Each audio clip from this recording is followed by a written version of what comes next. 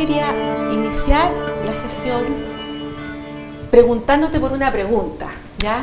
Que significa eh, que la idea de por qué hoy en día nos estamos preguntando por las éticas de las profesiones. ¿Por qué es un tema de conversación, de reflexión, de cuestionamiento? Verónica, yo antes quisiera agradecer la, gentil invitación, la generosa presentación del profesor Raúl Villarroel.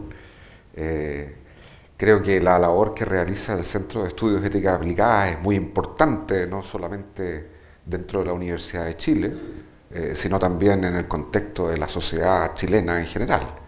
Y creo que tiene grandes desafíos por delante eh, muy interesantes eh, y que estoy seguro que están en situación de poder hacer frente. Especialmente en el tema que nos convoca, que es el tema de la ética de las profesiones.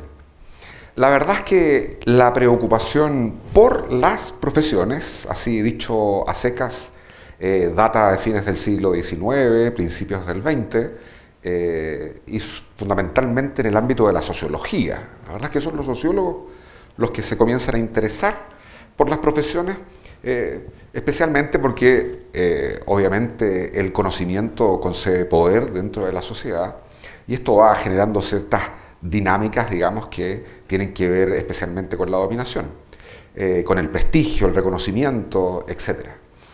aquí hay nombres muy reconocidos en esta tradición sociológica, Herbert Spencer, por nombrar uno, y dentro de este ámbito también surge un matiz de preocupación por lo que se conoce como ética profesional o moral profesional. Eh, por mencionar un ejemplo, Emil Durkheim en las lecciones de sociología, los primeros tres capítulos, trata precisamente de la moral profesional. Ahora, eh, propiamente lo que nosotros conocemos como ética de las profesiones eh, va a surgir desde la década del 70 eh, del siglo XX eh, en el marco de lo que conocemos como éticas aplicadas. Sería una de las tantas eh, disciplinas que, que, caben dentro de lo que conocemos como éticas aplicadas. Propiamente no surgen como otros ámbitos, ¿no? sino que surgen más bien como éticas de la profesión con alguna profesión en particular.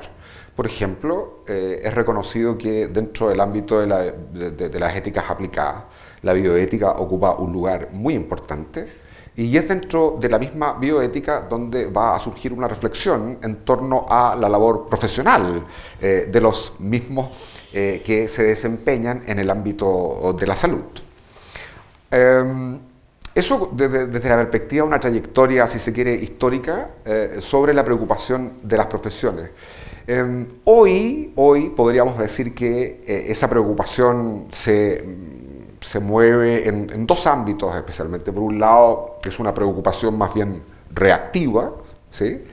Eh, está claro que eh, hoy somos más conscientes de una serie de, de, faltas a la moral en el ejercicio de las actividades profesionales y naturalmente esto ha provocado una reacción inmediata que, exige eh, un cumplimiento de ciertos estándares éticos. Pero por otra parte, y con esto ya acabo, eh, para, dar el marco, eh, también es una preocupación proactiva.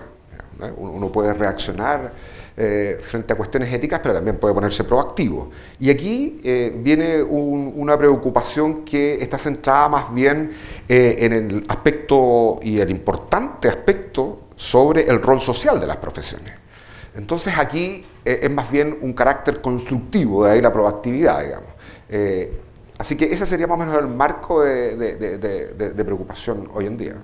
Eh, usted mencionó recién el tema moral en relación a las profesiones y a mí me gustaría preguntarle si estaría usted de acuerdo con el hecho de que las profesiones estarían atravesando por una profunda crisis moral. Y dentro de este mismo contexto, si, si esta eh, crisis, si esta eventual crisis moral de las profesiones eh, ¿Es un fenómeno específico de ellas o está enmarcado dentro de un fenómeno de, crisis moral más general?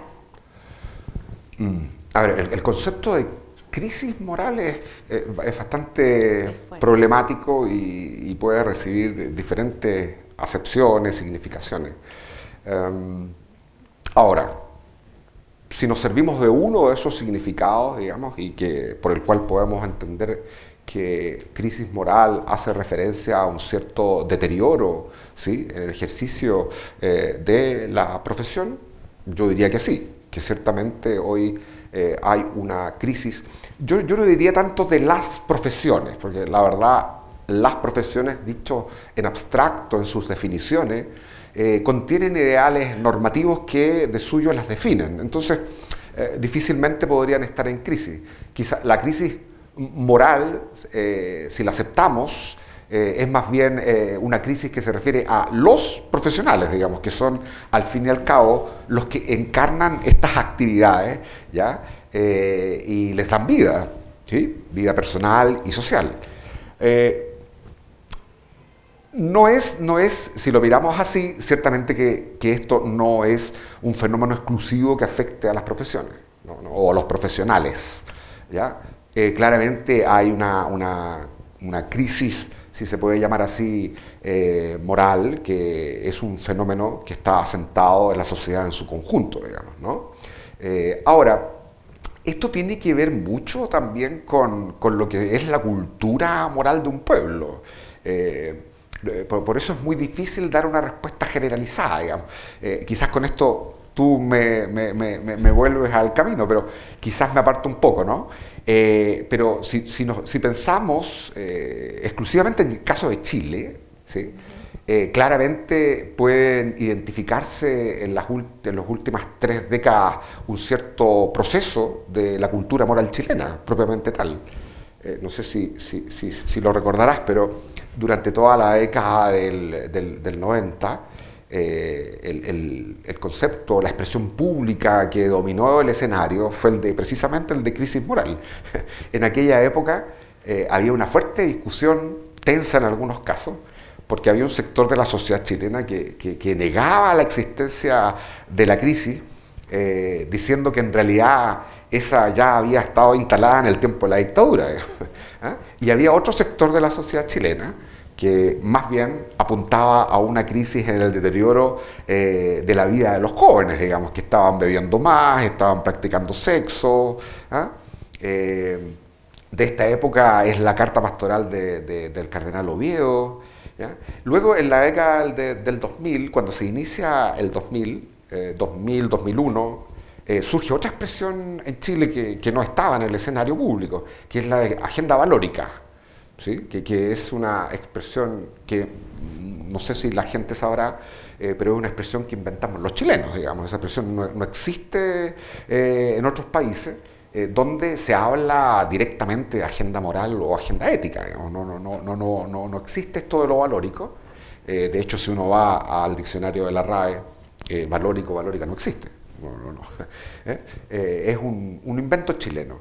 Eh, y para hacer breve la historia, 2014-2015, ahora, el momento que a nosotros nos toca vivir, por primera vez en, los, últimos 25 años de la historia de Chile, se instala el concepto de la ética. Pero fíjate tú, no, es que antes no hubiésemos discutido cuestiones éticas, porque no cabe la menor duda que la violación de los derechos humanos es una importante cuestión ética eh, y que nos cuestiona como país. Eh, lo que quiero decir es que el concepto mismo de ética empieza a ocupar un espacio público, empieza a ser invocada la ética. ¿ya? Eh, y en este contexto no, no, cabe la menor duda que es una invocación reactiva. ¿me Con eso quiero decir que el deterioro en las formas de vida no solamente ha afectado a las profesiones, o a los profesionales, mejor dicho, sino que ha afectado a la sociedad chilena en su conjunto. Eh, con esto no quiero decir que sea malo o sea peyorativo, no, quiero, lo que quiero decir es que sencillamente la invocación de la ética como una reacción frente al deterioro de las prácticas o las formas de vida, ¿eh? representa un momento de transformación de una sociedad que busca un nuevo horizonte eh, ético, el cual tiene que definir colectivamente. Eso es lo único que quiero decir, no quiero hacer ningún juicio. Así que yo no diría que eh, al hablar del deterioro de las prácticas eh, profesionales, estemos hablando de algo que solo afecta a las profesiones. No, no, no, son sino una manifestación más de lo que sería el contexto moral general en el cual se encuentran insertas, digamos. O sea, tú piensas que en ese sentido no es un fenómeno aislado, sino que en la medida que son las personas las que están actuando en el interior de las profesiones, estarían enmarcadas dentro de, un, de una crisis Correcto. Más, más, global. Sí, lo, que pasa es que las profesiones involucran, eh, como prácticas, involucran ciertas peculiaridades que son distintas a otras prácticas. Eh, y, es y, es natural que, por tanto, la reflexión o el pensar ético referente a esas prácticas eh, sean coherentes con esas peculiaridades. es diferente. Mm. Bueno, y aprovechando esto mismo que tú estás diciendo, yo creo que sería bueno, antes de seguir con nuestra conversación, que aclaráramos, digamos, eh, digamos, algunos conceptos fundamentales. Y uno de ellos, que es justamente del que estamos hablando, es que, que tú pudieras referirte a qué es lo que podemos entender por una profesión, eh, cuáles son sus rasgos específicos. Y, por ejemplo, eh, cuál es el rol de las universidades en la formación de profesionales. Y si esta es, la universidad les da un carácter distintivo o no. Son, son dos preguntas. Son dos preguntas en una. Si quieres las divido. Bien, bien grandotas. vamos, a lo, vamos a lo primero. Partamos por lo que es una profesión y después te refuerzo me, me, vuelves a la, a la, otra pregunta que, que es bien interesante. Eh, a ver, nosotros podemos, eh, hay, dos maneras de responder a la pregunta acerca de qué son las profesiones, digamos. Una es seguir la trayectoria histórica eh, del desarrollo de su concepto, el, significado de las profesiones se encarna en procesos históricos culturales, digamos, no es un, mero concepto abstracto. Eh, pero por otra parte también puede responderse de nuestra propia situación actual, digamos. voy a partir de esta última, porque es la que, la que, la que podría también eh, servirnos más. Eh, en un momento dado hubo un fenómeno bastante generalizado de lo que podríamos llamar la aspiración al profesionalismo. Muchas eh, actividades, oficios, etcétera, comenzaron a aspirar a ser consideradas como una profesión. cabe recordar en este sentido que eh, históricamente eh, las profesiones liberales eh, eran tres originariamente, ¿no? Son los médicos, ¿ya? los juristas y los sacerdotes. Quizás después podemos volver sobre ello, pero históricamente.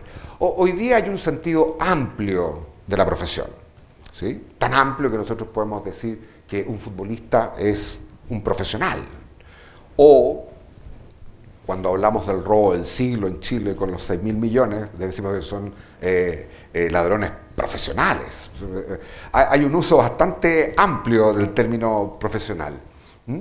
Ahora, eh, también hay un sentido algo más restringido que se define por ciertas características, digamos, ¿no? Y aquí voy a, recordar algo que, publicamos o que publiqué en, el libro este, La riqueza ética de las profesiones lo, primero, y, sin darles una jerarquía, es que eh, las profesiones se caracterizan por eh, un cierto dominio de un conocimiento. Hay, un conocimiento especializado, hay una alta especialización en algunos casos, eh, respecto a un cierto dominio de la vida o, aspectos de la vida humana o social, ¿ya? Eh, y esto es, esto, es, esto es importante, digamos, ¿no? Eh, segundo, y unido a eso, el hecho de que haya un conocimiento especializado exige también entonces que haya procesos de formación, ¿sí? Con, con, una variabilidad de tiempo que va a depender de la complejidad de ese conocimiento, ¿ya? Medicina son siete años, mm. filosofía son cuatro, me parece menos complejo. Eh, así que esa es, es una, una, característica. Luego, las profesiones eh, reciben honorarios, ¿sí? hay cierta remuneración por el desempeño de esa tarea, ¿ya? Eh, lo cual viene a expresar también el tipo de reconocimiento que la sociedad tiene frente a esa tarea. Eh, de alguna manera esto no solamente hace significación a la división del trabajo, también hace significación en relación a lo que es el, reconocimiento y el prestigio que adquiere eh, una profesión en relación a eh, el bien que administra para la sociedad. Entonces, esto también se expresa en el, en, la remuneración, en los honorarios, digamos, en el salario. ¿eh? Claramente los médicos ganan más que los filósofos. Eh, Pero es interesante el tema del término también, porque no es que tengas un, no es un pago, no es un salario, sino que son honorarios. Honorarios. Eso es interesante. Es interesante, pero, pero eh, el aspecto importante es que son expresivas del reconocimiento que da la sociedad respecto a ese bien que se administra. Eh, y, esto es importante, digamos, no, no, eh, yo siempre digo, yo agradezco la corrupción porque a mí me está dando un trabajo infernal, digamos, estupendo, digamos, más honorario, más. Pero es una broma, por si acaso. Eh, luego, eh, hay un monopolio, fíjate, es característico, hay, un monopolio respecto a eh, el desempeño o no solamente el conocimiento, respecto al desempeño ya en relación a ese bien, ¿no? Eh, no, no, no, se admiten los, los, los foráneos que no han pasado por estos procesos de formación, etc. Hay un cierto control respecto a los que pertenecen ya a la profesión y además pueden administrar esa, esa, profesión. Entonces hay distintos mecanismos que dan en controlar, digamos, a los polizontes que se quieren hacer pasar por, ya habiéndose saltado todos esos procesos. Eh, bueno, ya hablé del, del, prestigio y hay un aspecto eh, también importante, que eh, los profesionales prestan, y, esta es una idea instalada desde el origen, los profesionales prestan un servicio a la sociedad. Y prestan un servicio en la medida en que administran un tipo peculiar de bien que es importante para los miembros de la sociedad. Eh, eh, y, esto, ¿ya? Y, esto, y, esto, y, esto, podríamos decir que eh, las define esencialmente a las profesiones, en el sentido en que cada una de ellas tiene un bien interno que le da todo su sentido, todo su significado, ¿me entiendes? Y que luego va a tener eh, otras consecuencias con respecto a quienes las realizan. Pero hay un bien interno que es el que le da sentido. En este, eh, en este aspecto, las profesiones tienen una finalidad que les es propia. Fíjate tú que no se las conceden no se las conceden los que ingresan a la profesión o los que la ejercen, sino que esa finalidad ya está dada de suyo, es la misma actividad. ¿eh? Esto es importante porque porque junto a estos bienes internos eh, no cabe duda que hay bienes externos que son concomitantes a la profesión. Acabamos de nombrar uno hace rato, eh, los honorarios, ¿eh? el salario, etc. ese es un bien externo, ¿no? Max Weber se va a dar cuenta de este aspecto de la remuneración para el sustento de la vida, etc. Entonces, también habría que mencionar. Luego otro rasgo es la autonomía. Los profesionales en general gozan de una importante autonomía para eh, definir sus propias normas y sus propias reglas, digamos, de, conducta, sus propios estándares, incluso estándares éticos, ya de comportamiento, eh, etc. Y esto, e, esta autonomía se da no solamente en el conjunto de los profesionales, sino también en cada profesional en particular. Gozan de una importante eh, autonomía. Y por último, para no seguir con la, con la larga lista de rasgos que podríamos decir, eh, está el hecho de que, eh, concomitante a lo anterior, eh, pueden definir un código ético o un código de comportamiento que fundamentalmente resguarda el prestigio de la misma profesión. Eh, eh, esto es bien importante porque eh, el prestigio es un rasgo característico de la organización profesional, ya en vistas a, no, es por filantropía, digamos, lo hacen en vistas de seguir conservando el prestigio social y también a su vez el reconocimiento. Y entonces podríamos pasar a la segunda parte de la pregunta, que era em, cuál es el rol que cumplen las universidades en la formación de los profesionales y, si, cuál sería su carácter distintivo. O sea, ¿qué, cuál, ¿qué es lo distintivo que les darían las universidades a los profesionales? A ver, ahí, ahí tenemos un, problema, digamos, grave, grave, porque, porque eh, desde, desde, la, desde el periodo de la industrialización, etcétera, etcétera, se comienza a dar un cierto proceso de de mercantilización de las profesiones. El, criterio económico, economicista, el criterio técnico, eh, comienza a eh, colonizar los fines internos propios de, cada profesión. Eh, en este contexto, las universidades, lamentablemente, en general, me imagino que habrá algunas que no, pero eh, en general han entrado en estas lógicas. ¿Eh? Por lo tanto, la formación profesional ha, ha seguido más bien los derroteros de la formación técnica, la competencia técnica, desarrollo de habilidades también prácticas, ¿ya? etcétera pero que eh, no han resaltado el aspecto de una formación integral del futuro profesional, y cuando digo integral incluyo la formación ética, eh, que es importante en el desempeño de las profesiones. Eh, por lo tanto, las universidades, no cabe la menor duda, como, como centro en el cual se, se forman los futuros profesionales, claramente tiene una importancia enorme.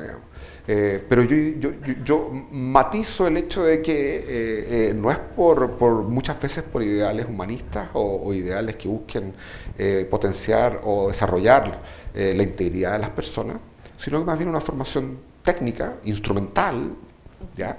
Y, y, no tanto, y quizás aquí ya entramos en la cuestión ética, y no tanto abarcando los aspectos de los fines con sentido ético que encierran las mismas profesiones. O sea que ¿Usted piensa, por ejemplo, que en la medida que, los, que las universidades, que son reconocidamente las entidades que están formando los profesionales, están dando un, carácter más bien de tipo técnico, de eficiencia, científico-técnico a los profesionales, más que una formación integral? Eh, sí, al menos yo creo eso. Puede ser discutible, digamos, eh, pero eh, eh, ese aspecto discutible eh, hay que basarlos en datos. Claro. Uno puede tener la impresión que no, pero que no, no, sé si me adelanto tus preguntas, no lo sé, pero, pues pero uno podría preguntarse hoy día, por ejemplo, con el caso Penta, eh, aquí en la Chile, eh, de economía, eh, aquí en la Chile, un, estudiante o, alguien que se estaba graduando, no, no, recuerdo el nombre, hizo un estudio acerca de a ver, cuál es la formación ética que están recibiendo los economistas en algunas universidades de Chile. No, no, no. Estaba la Católica, la Universidad de Chile, varias universidades, y la verdad es que el espectáculo es patético. No, no. Nuestros economistas en general eh, no están recibiendo una formación ética. Eh, alguien podría decir incluso, eh, como fue el caso en, este, en, estos dimes y diretes del caso Penta, que, hay cierta formación proselitista en la Universidad Católica, cuando en realidad ni siquiera estudian doctrina social de la Iglesia, que sería en la línea del pensamiento social, político, económico. Entonces, yo creo que los datos son bastante alarmante en, relación a esta formación eh, de la persona integral y dentro de ello eh, la formación ética. Nótese, no he dicho nada de qué pienso yo sobre en qué consiste una formación ética. Simplemente eh, instalo el dato duro de que la formación ética hoy día brilla por su ausencia en muchos casos, digamos, ¿no? Y luego tienes otro, otro, otro, otra dimensión, y es el hecho de que eh, en aquellos lugares donde eh, se imparte eh, una cierta formación ética, te topas con el problema de que quienes imparten esa formación ética no ostentan las certificaciones de especialización. En algunas universidades católicas hay sacerdotes dando clases de ética, por ejemplo. Pueden ser sacerdotes, me parece muy bien que lo sean, pero eso no les certifica en ningún caso que tengan una formación ética en el sentido de poder transmitir ciertos conocimientos específicos a otros. ¿eh? Eh, esa es una y luego tienes, en el, ámbito secular, tienes eh, gente que no ha recibido una adecuada formación ética que precisamente le capacite para poder emprender una tarea de enseñar ética a otros. creo que la consecuencia de esta, entre comillas, mala práctica profesional, redunda en un daño y un desprestigio tremendo para la ética, porque eh, dentro de ese marco de obviedades o dentro de ese marco de un cierto legalismo moral, ¿ya? O, rememorando un poco las tablas de la ley, Eh, no hay que robar, ¿eh? etcétera, va, va trasuntando en una disolución del mismo concepto de la ética. No, sé si tú lo recuerdas, pero eh, en el caso corrupción de farmacia, uno de los acuerdos a los cuales se llegó en el proceso de, del juicio fue clases de ética. Fue 32 horas, algo así.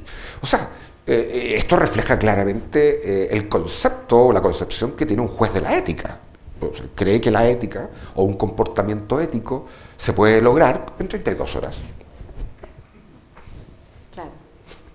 es un punto bien interesante ese que tú has tocado, porque por un lado, si es que en una cantidad de horas tú puedes cambiar esas cosas que pueden ser tareas ya marcadas como esenciales en una persona. No sé si podríamos Sí, lo, que pasa es que ahí entramos ya en el tema de la, de la formación eh, moral que va recibiendo cada persona, digamos. Eh, me imagino que tú querrás llegar a la universidad inmediatamente, pero, pero eh, sin duda que esto es importante. No, nosotros somos intrínsecamente morales. No, nadie se levanta en la mañana y dice, hoy día no voy a ser moral. No, lo, lo que yo sí decido es qué tipo de vida moral llevaré, digamos, pero, pero, no decido si soy moral o no. Eh, esto no significa que todo en la vida sea moral o ético. No, no. Si, alguien toca la puerta y la toca mal, ¿me entiendes? A lo mejor, eh, no sé. Eh, tendrá que aprender a cómo tocar puertas, pero no decimos eres un inmoral por tocar Hay acciones indudablemente o hay dimensiones de la vida humana que no tienen consideraciones morales, pero somos constitutivamente morales por el hecho mismo de que somos libres, tenemos que tomar decisiones, estamos constantemente eligiendo. Eh, ahora, eh, el, cómo nos conducimos moralmente, eso lo vamos aprendiendo en contextos sociales, digamos, hay procesos de socialización moral. ¿ya? El primero y obvio es la familia, vamos, adquiriendo herramientas de, de, morales en la familia, el grupo de amigos, ¿te das cuenta? Eh, luego, si que alguien pertenece a alguna comunidad religiosa, eh, será la iglesia o, a la cual pertenezca, eh, etcétera, etcétera. Hay procesos de socialización moral y cada sociedad tiene los suyos. ¿sí? Esto es importante porque a lo mejor eh, eh, exagero en hacer tantas referencias a Chile, pero a mí mm, estoy en una investigación hace dos, dos tres años eh, y sobre Chile. Me interesa pensar la, qué pasa con la ética o la moral en Chile. en Chile hay una ley que, es, chilena, la ley del pillo. es parte de nuestra cultura moral, ¿te das cuenta?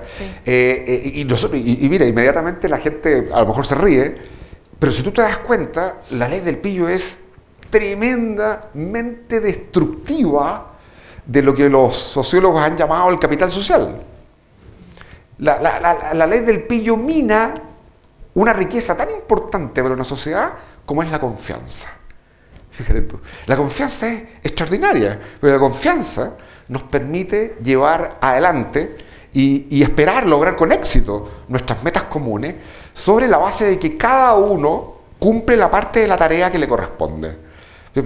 Cuando yo confío en Verónica, yo inmediatamente me despreocupo y por tanto no tengo que estarme desgastando utilizando mecanismos de control para ver si Verónica está cumpliendo con la parte que le corresponde. ¿Te das cuenta?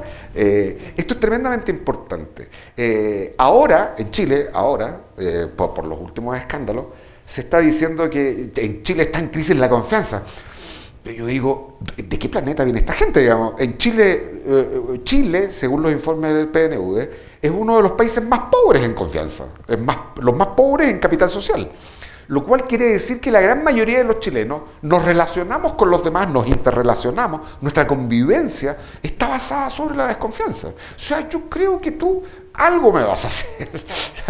Eh, y el pillo, el pillo es destructor de la confianza.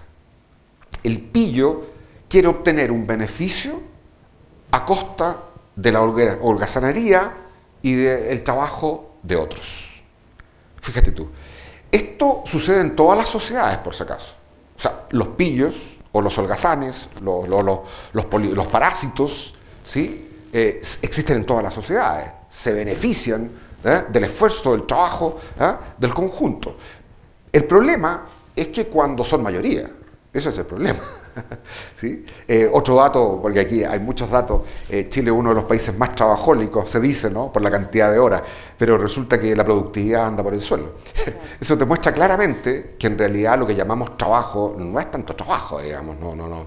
En realidad hay mucha pérdida de tiempo en horarios laborales, ¿sí? Eso pasa incluso en las universidades, pasa en todas partes. Eh, entonces, eh, aquí hay algo importante respecto a los procesos de socialización moral, porque somos los miembros de la sociedad los que vamos generando un cierto sentido acerca de la ética con la cual no solo queremos conducir nuestra vida, sino la ética también con la cual, lo que sería una ética pública, con la cual queremos regular ¿ah? consensuadamente nuestra convivencia como sociedad. ¿Te das cuenta? Esto es importante. Yo creo que la ley del pillo, más que risa, debería causar eh, un rechazo eh, inmediato. ¿Te das cuenta? Y deberíamos esforzarnos por, luchar contra ese tipo de principios morales que están presentes en la sociedad chilena. Eh, ahora, esto, esto, esto, es, esto es distinto a lo que nosotros podríamos llamar una, una formación más formal en sentido moral. ¿Ok? Esa es casi inexistente en Chile. ¿Eh? Eh, te pongo un ejemplo, ahora mismo, ¿no? la, presidenta de la República en, el discurso del 21 de mayo, ante los escándalos ocurridos, eh, habló y mencionó la ética y, ha dicho que se van a implementar códigos de ética para los funcionarios públicos. Yo no sé, pero alguien debió haberle dicho a la presidenta de la República que si hay un dato eh, duro es la ineficiencia de los códigos de ética. Con lo cual, no significa que lo que yo estoy diciendo está en contra de los códigos de ética. Lo que habría que preguntarse más bien es, ¿y por qué son ineficientes? Digamos, que es la pregunta. Pero no que sean inútiles, sino que son ineficientes. Entonces, eh, y habló también de la educación cívica. En ninguna parte se habló de educación ética. En ninguna parte. Mm. En los colegios bueno, no hay educación ética, educación moral, no existe, lamentablemente porque quizás nos hayamos eh, eximido de esta dimensión en vistas de que hay clases de religión. Eh, no lo sé, puede ser un presupuesto eh, explicativo, no lo sé, pueden haber otros, ¿ya? pero que a la larga ciertamente que afectan mucho porque eh, ya sé que tú después a lo mejor me vas a preguntar por la ética en la universidad y resulta que uno de los problemas fundamentales con los cuales nos enfrentamos cada semestre eh, y después eh, al final de año en el balance es el tipo de estudiante que nosotros recibimos en nuestras clases de ética, de ética aplicada. al menos yo hablo por la Universidad Católica, que, es donde trabajo. en realidad es una tarea gigantesca es una, una, tarea gigantesca, porque me acuerdo de una vez que tú y yo hablamos hace tiempo atrás, eh, hay un analfabetismo moral, evidente. No, no, no, no, no, no, no podríamos. Eh, y, aquí hay algo bien y que me permito distinguir, digamos. Yo siempre distingo entre lo que es la opinología en cuestiones éticas y lo que es la opinión, el opinante, le llamo yo. ¿no? Eh, lamentablemente, cuando hemos tratado de cuestiones éticas, eh, la agenda valórica es la mejor expresión de esto, donde la opinología da para todo. ¿sí? Eh, de hecho, alguna senadora por ahí de Renovación Nacional dijo en algún momento, ahora ya no está en Renovación Nacional, se fundaron otro partido, algo así, dijo en su momento que sobre las cuestiones valóricas, bueno, todo, esto es opinable. Eh, lamentablemente, si todo es tan opinable, la verdad es que no podemos alcanzar consensos públicos que logren estabilidad durante el tiempo, lo cual es un problema. Porque si entonces lo que importa es la opinión dominante, cuando cambia la opinión dominante cambiarán los principios con los cuales regulamos. O sea, si el principio de mayoría, que fue no para la democracia, pero si lo trasladas a ética te puede traer algunos inconvenientes.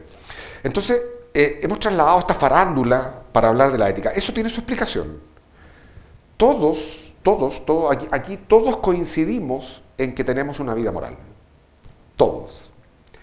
Podemos mencionar cualquier cuestión con naturaleza moral y nos vemos afectados, ¿me entiendes? Directa o indirectamente, ahora, en este momento actual o después.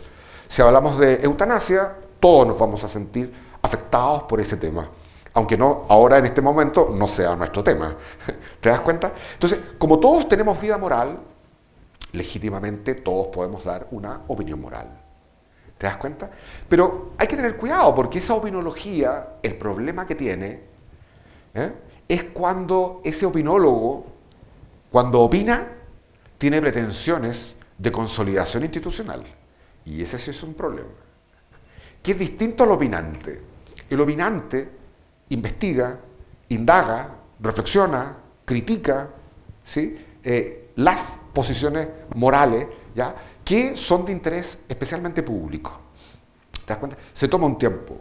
Eh, lo, que yo estoy diciendo ya sé que es difícil, ¿eh? porque, porque la gran mayoría de los chilenos está en la lucha por la vida y, no va a tener tiempo para, para dedicarse a estas investigaciones o, estudios, etc. Y aquí quizás surja una, una beta importante para la universidad en relación al servicio público eh, con respecto a la sociedad. Pero eh, esto se solventaría si es que tuviésemos, por ejemplo, un buen sistema educativo que sí se sí, hiciese cargo de la ética. Y con esto termino, porque la educación cívica no basta para tener buenos ciudadanos. Si alguien cree que la educación, saber cómo se estructura la sociedad políticamente, los distintos, distinción de poderes, etc., y todo eso es suficiente sin una formación ética, la verdad está tremendamente equivocado. Eh, requerimos que la educación cívica vaya de la mano también de una formación moral. No, no menciono otra de las dificultades de esta tarea, gigantesca tarea, que supone la desestructuración de la familia hoy en día. ¿Te das cuenta? Eh, esto es un tema importante, digamos, porque la familia es la primera escuela de socialización. Eh, y si la familia no me entrega ciertas herramientas, eh, claro, ya me va poniendo en una situación un poco incómoda en relación a las metas que me voy a trazar en, la vida. Y, esto también se expresa también en, los grupos de amigos. Yo me acuerdo cuando yo era cabrón chico, tú jugabas, yo jugaba esto bridge con mi abuela, y, yo le hacía trampa a mi abuela. La ley del pillo. Claro, la ley del pillo. ¿Eh? y lo que quiero decir es que eh, al tramposo siempre era excluido el tramposo. Fíjate tú. Eh, el que hacía trampa sabía que la consecuencia de su acción era la exclusión, la marginación. ¿Te das cuenta? Sería una buena pregunta si nosotros, eh, no digo que, excluyamos en un sentido fuerte, ¿no? denso, pero sería bueno saber cómo reaccionamos frente a aquellos que están haciendo trampa. Quizás hayamos cierta, eh, tengamos cierta laxitud eh, eh, respecto a, esto, pero lo que quiero decir en general es que la sociedad cumple un rol importantísimo en los procesos de socialización moral, en, conjunto, a través de las vivencias, etc. Pero también hay una institucionalización de la formación moral. Y ahí, obviamente, el gobierno, las instituciones públicas de educación, eh, me imagino que también las privadas eh, tendrán que hacerse cargo de esta dimensión. Entendiendo que la formación ética o la formación moral no es una cuestión de la religión. No, claro. Eh, Mauricio, yo quisiera ahora volverte un poco al tema de las profesiones y, y preguntarte si, si en la actualidad podemos entender a las profesiones como una vocación Uf, tiene que ver con lo que está. Por eso, mismo, por eso quise ponerte la pregunta, ¿verdad? Sí, eh, hacia ese lado. La, idea de vocación está en el centro, de, centro eh, histórico originario de lo que son las profesiones. Antes yo te mencioné las profesiones liberales clásicas, ¿no? La medicina, eh, el derecho, el jurista ¿no? y, y el sacerdote. Si tú lo piensas bien, eh, cada uno de ellos se hace cargo de un bien que es importante para la sociedad. El médico asume la responsabilidad ante el bien de la salud, administra ese bien para todos los miembros de la sociedad. El, jurista asume eh, el ideal de la justicia que, que, anhelamos siempre en la convivencia entre los seres humanos en el marco social. Así que administra un segundo bien. Eh, y el sacerdote ¿sí? estoy hablando en su sentido originario, quizás hoy para muchos no tenga ninguna importancia, pero en su momento eh, originario sí, tenía una importancia, y que es el bien de la salvación, el destino eterno del ser humano, ¿ya? y que era administrado ¿no? Eh, por, por los sacerdotes. Lo importante es que la vocación ¿sí? que, viene del vocare, que expresa un, llamado, ¿no? Eh, que tiene esta aura divina, tiene, una cierta aura divina. Lo importante es que eh, una persona, ¿sí? vocacionada, sería una persona que se siente atraída por servir al bien que caracteriza a esa actividad. ¿Te das cuenta? Ah, hay una atracción eh, por, ese bien. ¿sí? Eh, ahora, eh, la vocación tiene que ver no solamente con esta atracción que, tendría que, que tiene relación con el querer, yo quiero, ¿me entiendes? hay una cierta idea de lo que es la actividad y el bien de esa actividad, sino que también tiene que ver con la idoneidad. Esto es un aspecto importante. A mí me pasa cada semestre eh, yo eh, me, toca trabajar con estudiantes de ingeniería y de otras carreras, no de filosofía. Eh, y les pregunto, ¿por qué quieres estudiar ingeniería? Están en primer año, ¿Y por qué quieres estudiar ingeniería? ¿Qué es la ingeniería? Y, yo me sorprendo porque son completamente ignorantes respecto a la profesión a la cual han ingresado. Entonces, claro, vocación, ya, a lo mejor hay una idea vaga, ¿ya? Respecto a eh, lo que es el desempeño de esa actividad profesional. No me cabe la menor duda, según la experiencia que tengo, que también hay una idea bien consolidada respecto a lo que eh, es la ganancia económica en esa actividad profesional, ¿sí? Eh, etc. Quizás la vocación, propiamente, que es lo que da sentido a las actividades profesionales, sea una dimensión que hoy día esté en franca retirada, digamos, por decirlo así, en un sentido dominante, fuerte, de lo que es eh, eh, la aspiración profesional eh, de nuestros jóvenes. ¿Tiene que ver la profesión con la vocación? Sí, pero en realidad hoy día podríamos decir que en gran medida está un poco en retirada, digamos. Son otros factores los que van determinando el interés por alguna profesión en particular.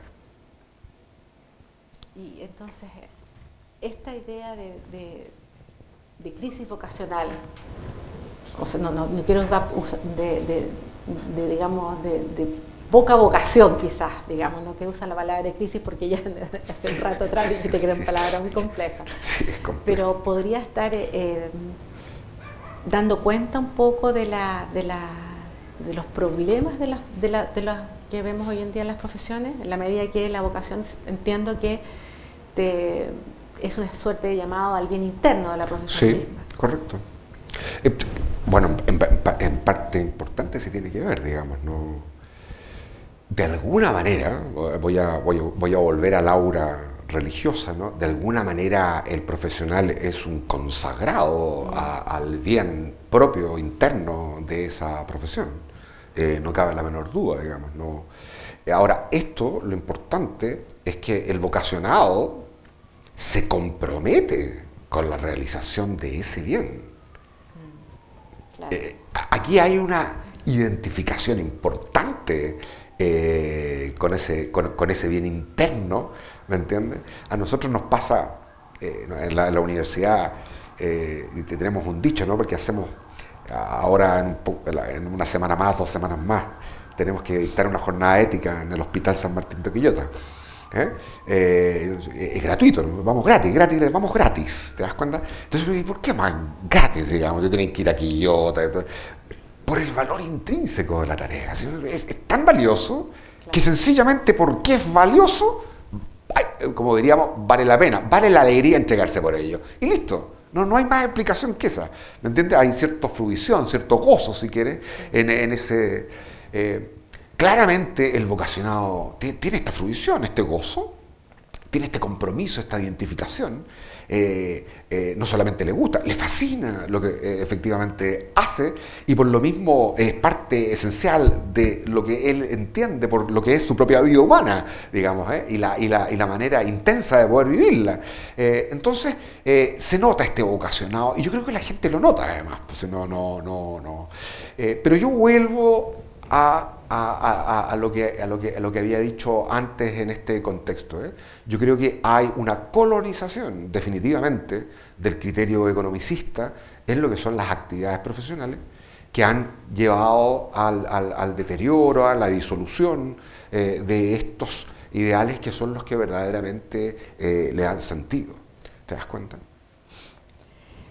Mauricio, siguiendo un poco con la, con la línea que estamos desarrollando, creo que hay, hemos hablado mucho de ética, mucho de moral, pero me gustaría que pudiéramos aprovechar tu expertise para que nos aclararas, digamos, esos conceptos de manera más, más específica.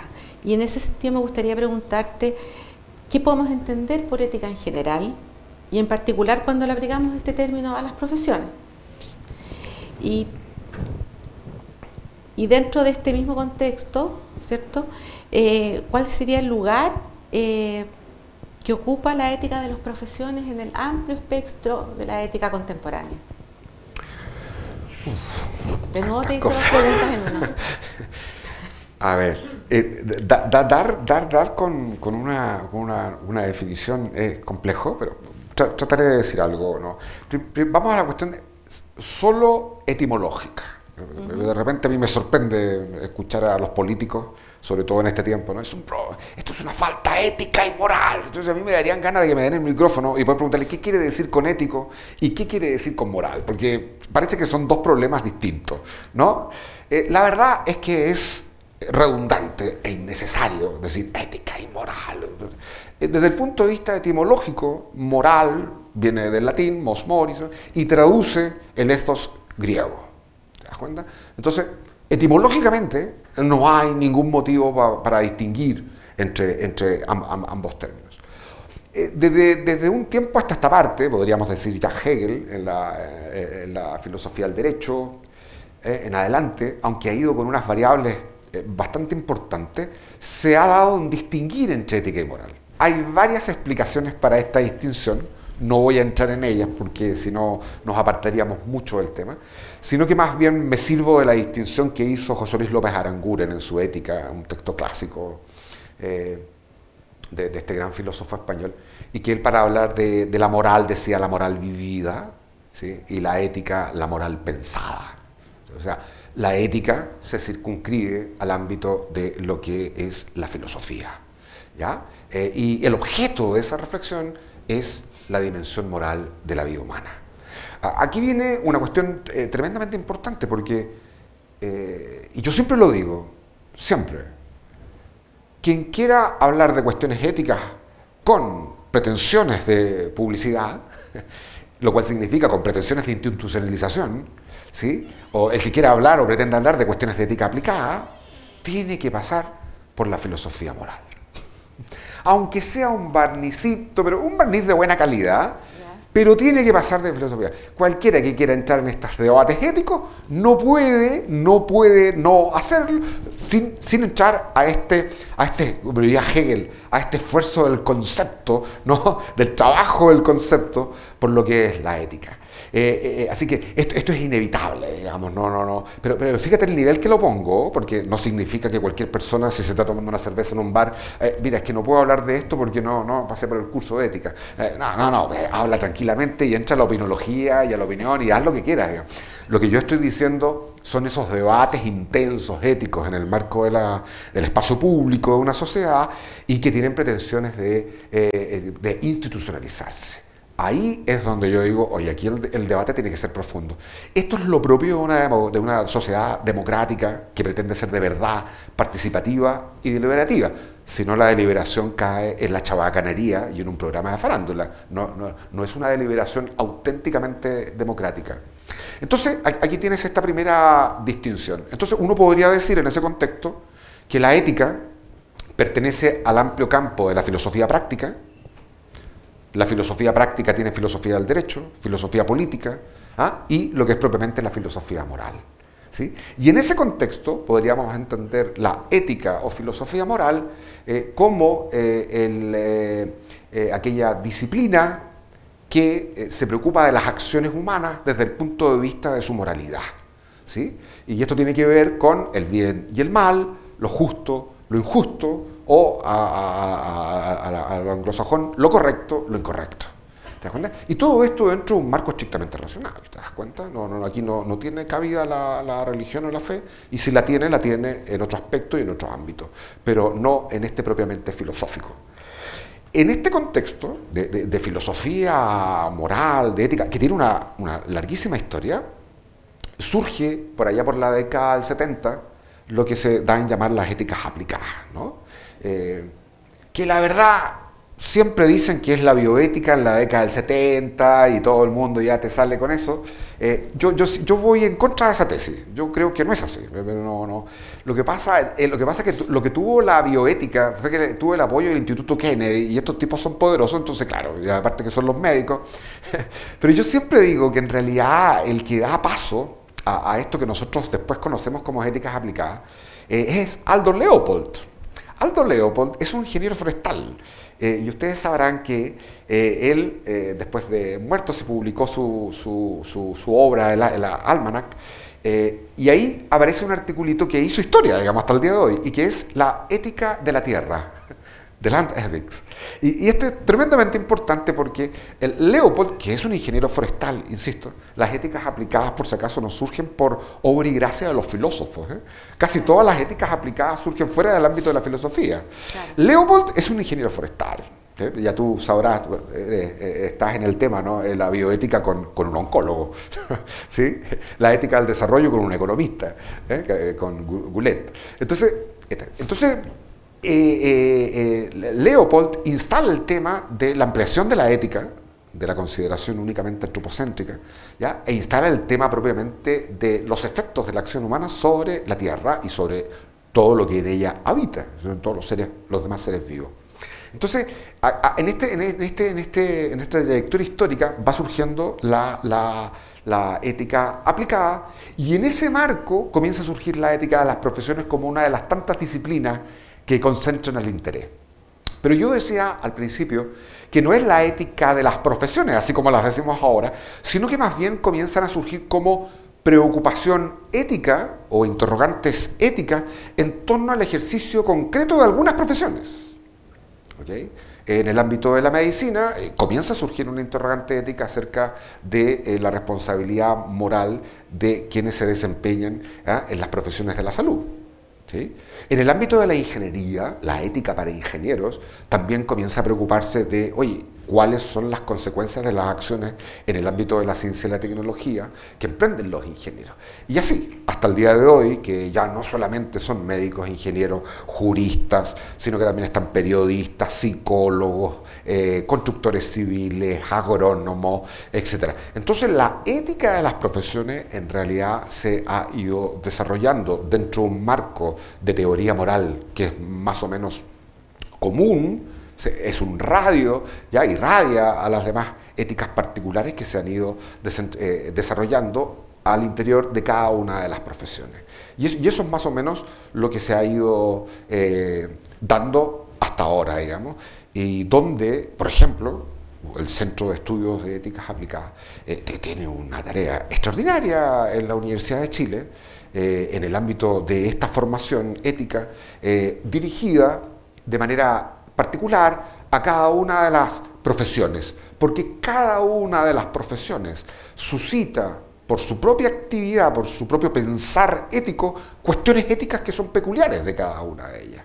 Fíjate tú que hay cuestiones éticas comunes que surgen en todas las profesiones, hay incluso temas que son, se entrecruzan entre pero hay ciertas peculiaridades que, son propias de la medicina, ¿sí? hay ciertas interrogantes éticas que solo pertenecen al ámbito de la medicina, hay otras interrogantes éticas que solo pertenecen al ámbito de la economía.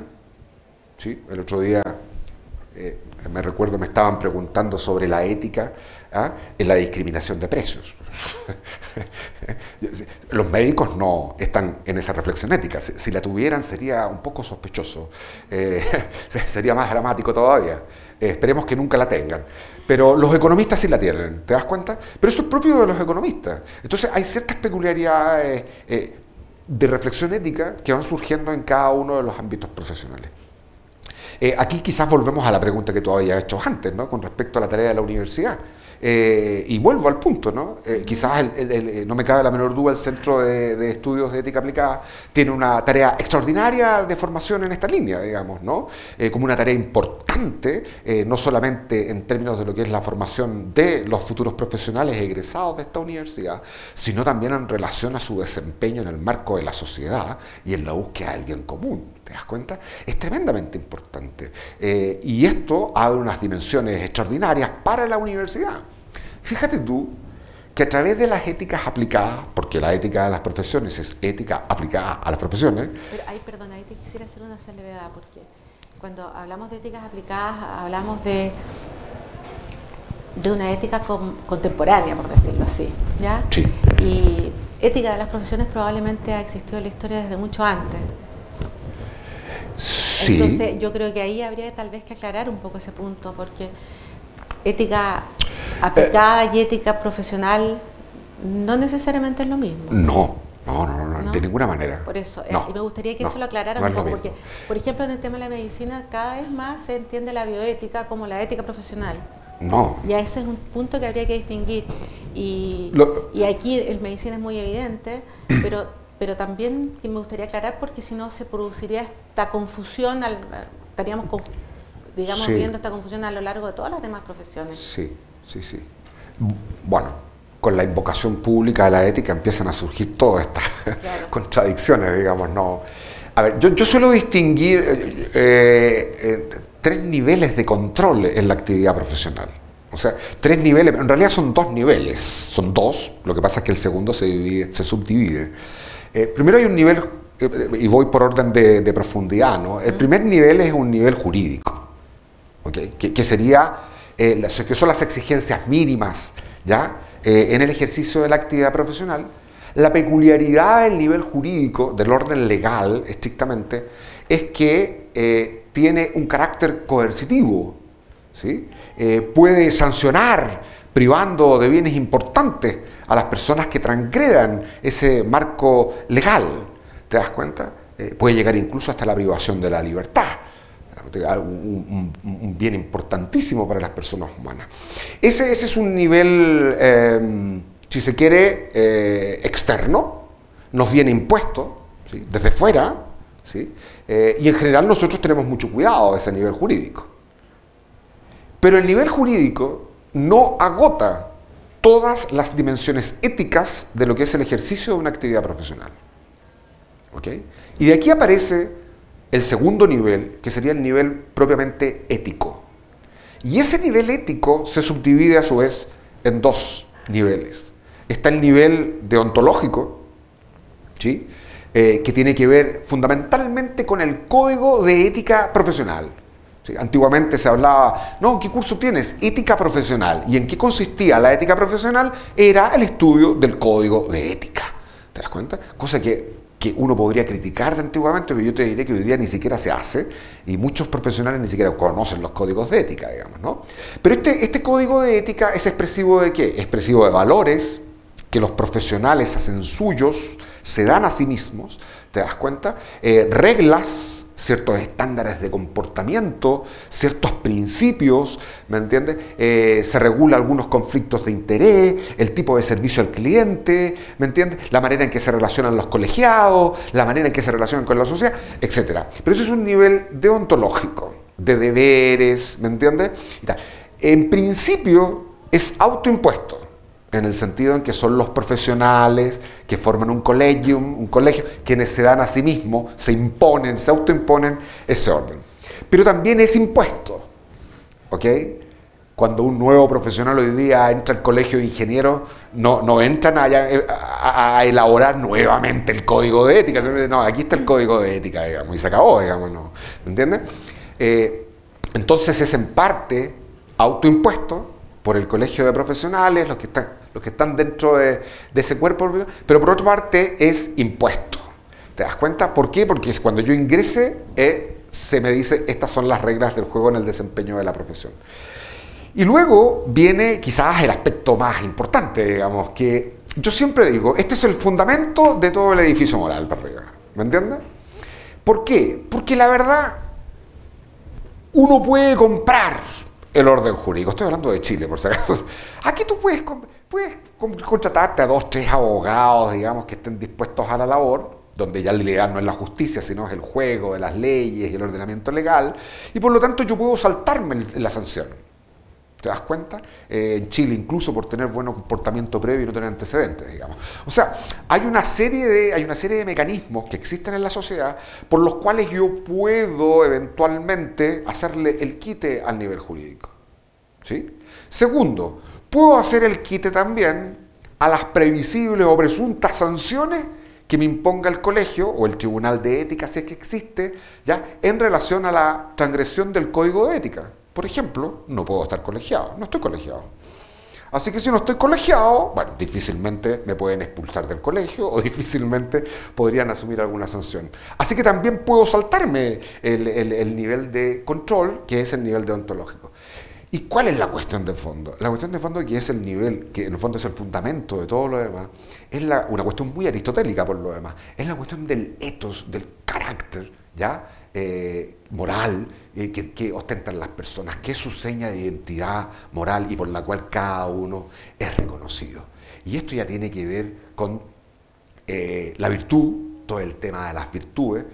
yo siempre lo digo a mis estudiantes, y les, y, les, parto diciendo, cuando entramos a la parte de Aristóteles ya les digo, ustedes y yo tenemos la obligación de ser virtuosos, no nos queda otra.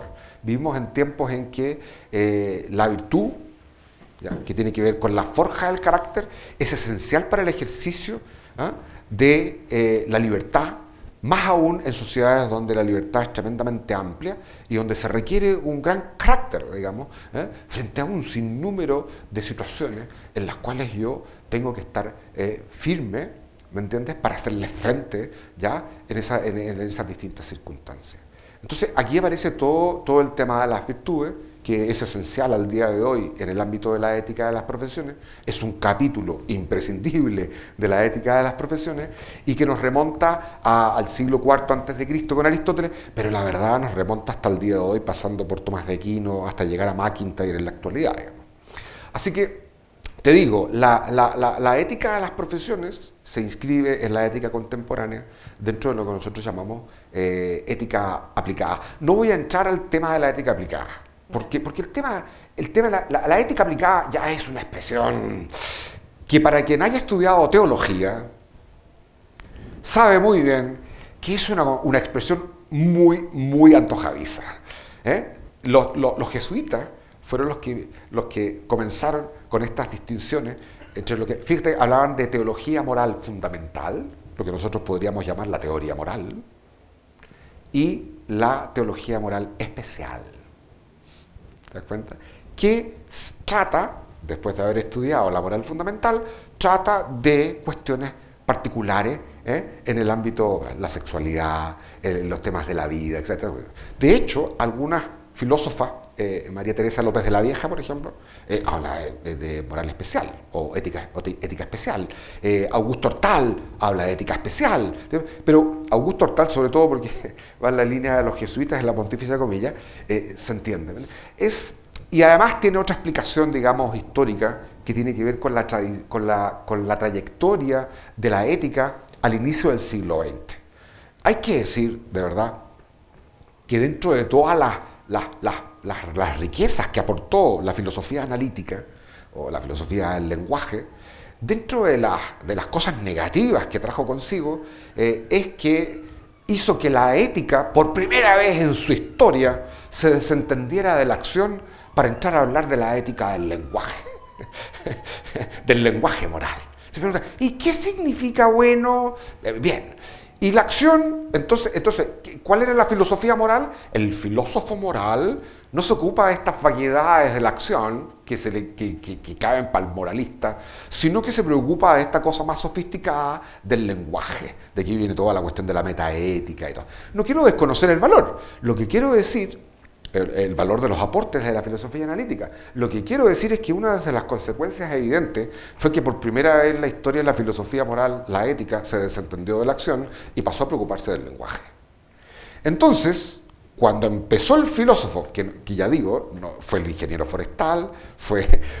Esto es lo que explica que no hayan sido los filósofos, si los filósofos estaban elucubrando en el lenguaje, si estaban en otra, ¿me entiendes? Eh, sin haberse fumado nada especial, digamos, estaban en otras nomás, porque era lo sofisticado, ¿me entiendes? Eh, y por eso empieza el, ingeniero forestal, por eso comienza el economista, por eso a preocuparse de las cuestiones éticas que empiezan a surgir en su ámbito. Y esto ciertamente que en un momento dado, porque no se puede hablar de cuestiones éticas sin filosofía moral, comienza también a atraer la atención de los filósofos. Y así como empieza a surgir el concepto de ética aplicada. Ahora, esta es una lectura personal, no la he leído en ninguna parte, eh, todo el mundo parte como de la, de la, ética aplicada por los giros tal, los giros tal, los giros tal, eh, y, la verdad es que es la lectura que yo eh, modestamente hago acerca de esa trayectoria. Eh, ética aplicada, da, igual, la ética de suyo nace para ordenar, dirigir, gobernar, orientar la acción. La acción, la praxis, es la cuestión fundamental de la ética. Y en un momento dado lo que pasó fue que sencillamente dejó de serlo. Y aquí viene toda la explicación de lo que aplicada, digamos, ¿no? Mauricio, sabes que hemos conversado harto, el tiempo ha pasado volando.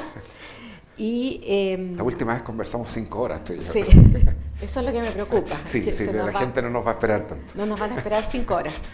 Em, entonces, yo quería como ir cerrando un poco para que además las personas puedan hacernos algunas preguntas y em, volver un poco al tema de de la justificación de la enseñanza de la ética en las profesiones universitarias y en la universidad, pero quería planteártelo desde, tu, desde un caso concreto, desde un tema un poco contingente y desde, desde tu posición como coordinador de las éticas aplicadas del Instituto de Filosofía de la Pontificia Universidad Católica.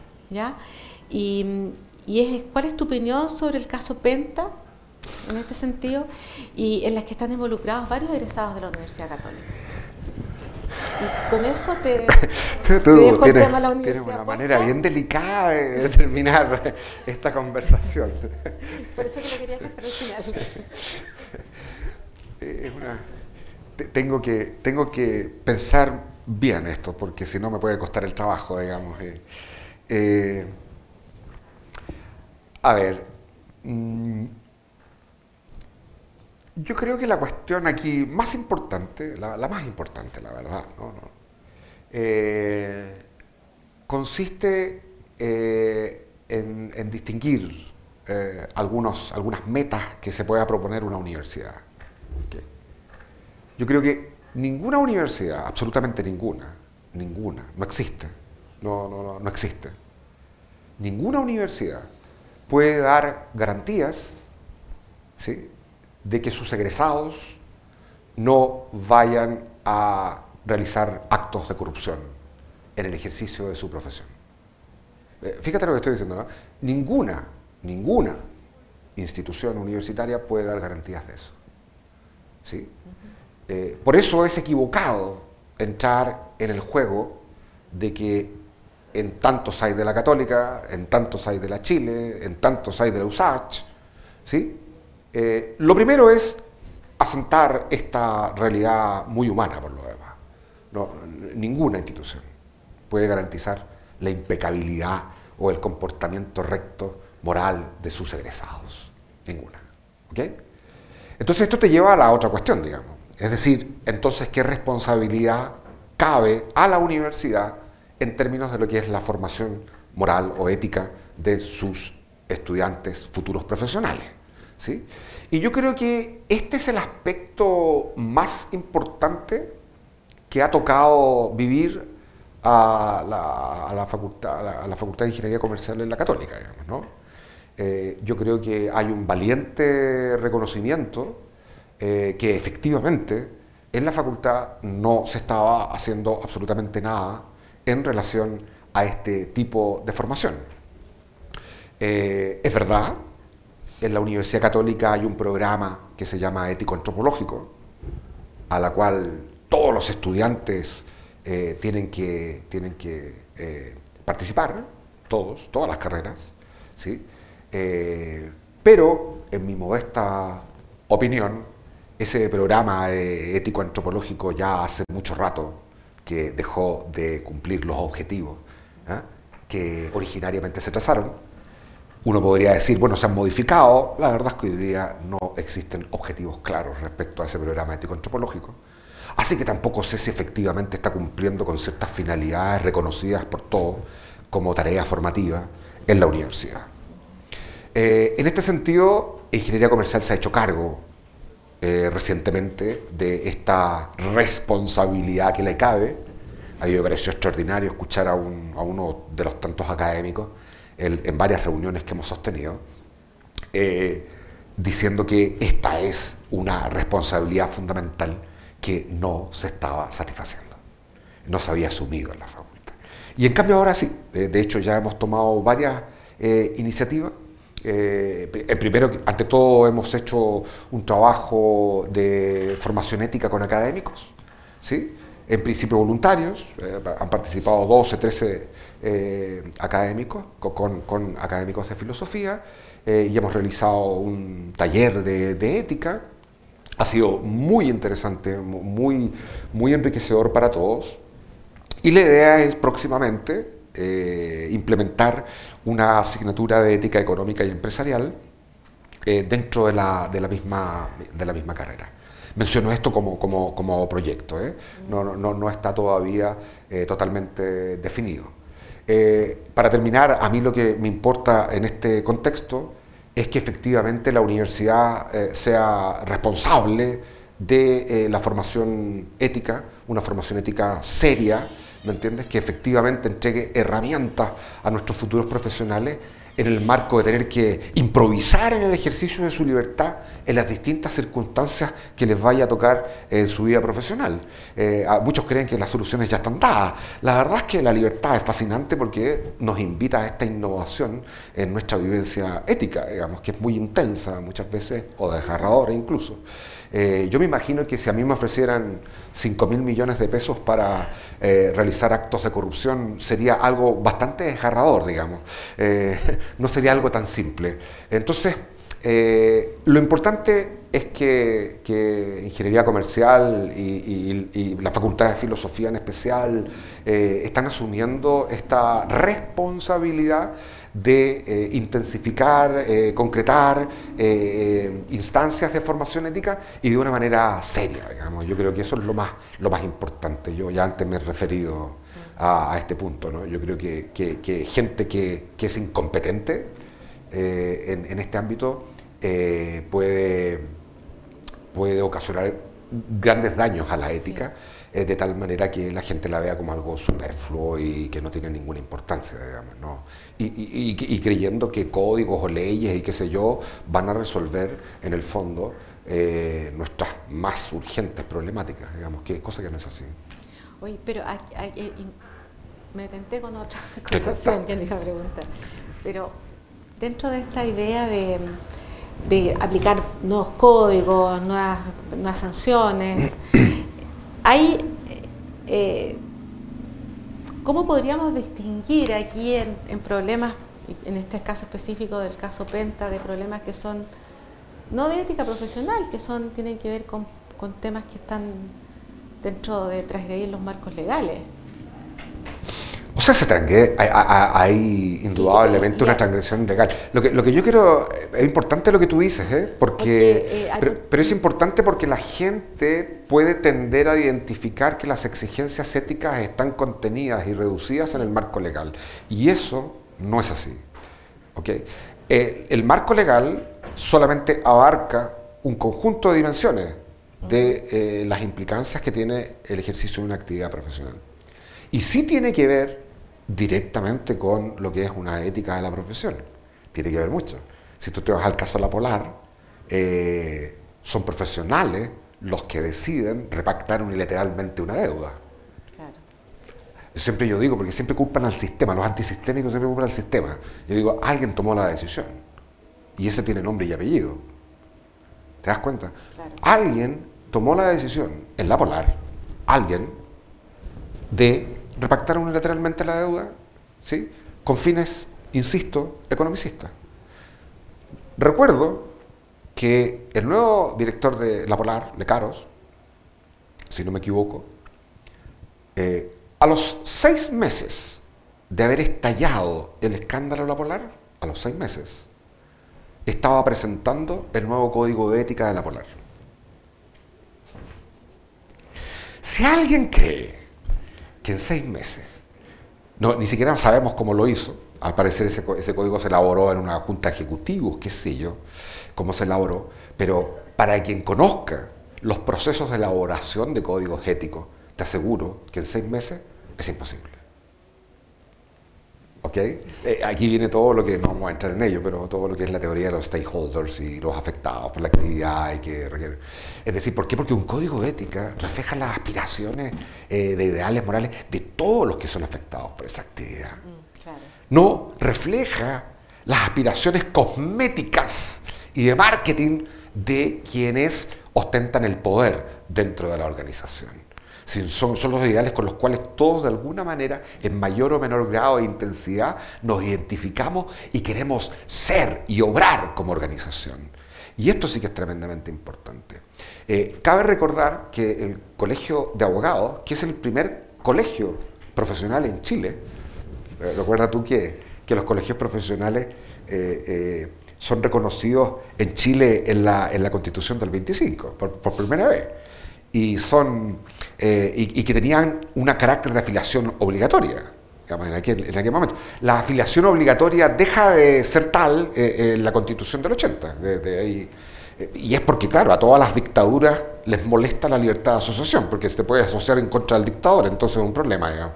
Entonces tienes que disolver eh, la capacidad asociativa de los miembros de esa sociedad. Y esto pasó con los colegios profesionales, que, que, que, puede traer eh, X consecuencias que se pueden discutir.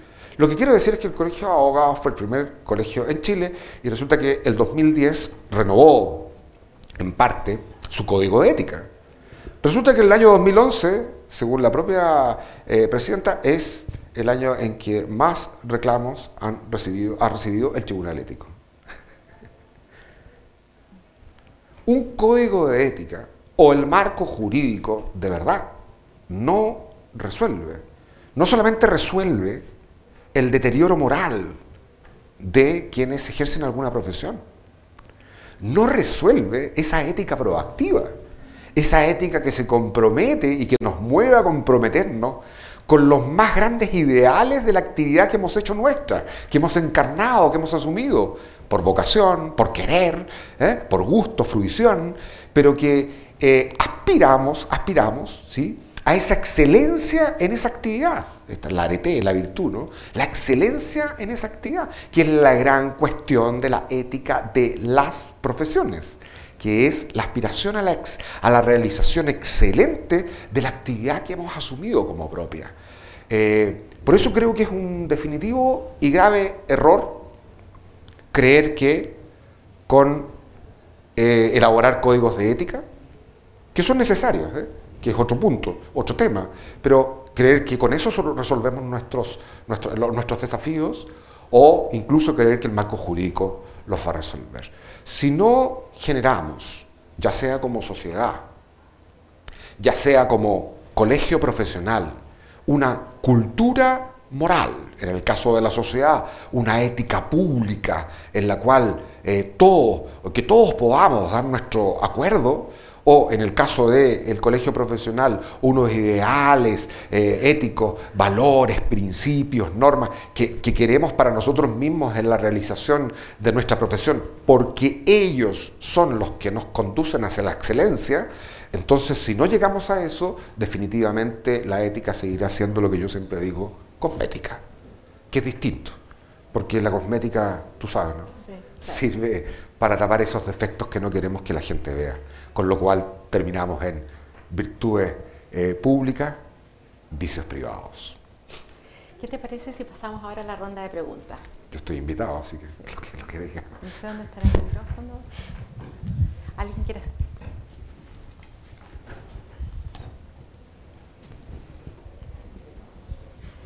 Se ofrece la palabra al público.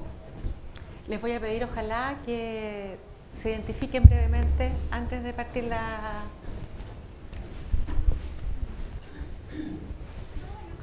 Está, saludos.